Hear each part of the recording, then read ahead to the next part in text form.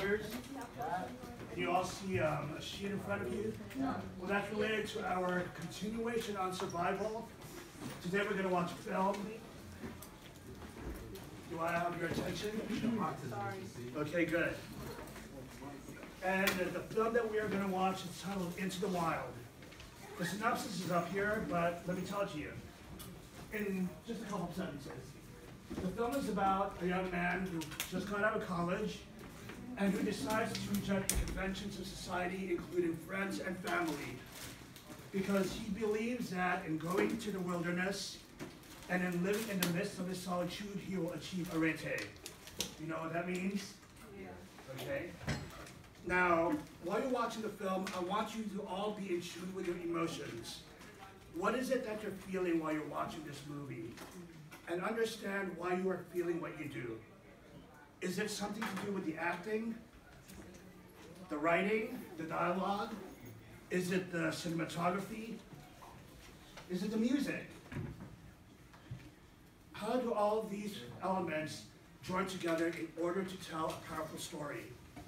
Because one thing you should know about stories is that in order for the reader or the viewer to think, the creator of that story needs to appeal to the emotion, to the heart.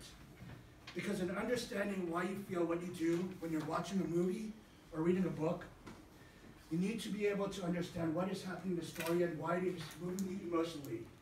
In doing that, you, be, you will be able to get into the heart and the soul of the story. You will be able to understand what the meaning of the story is.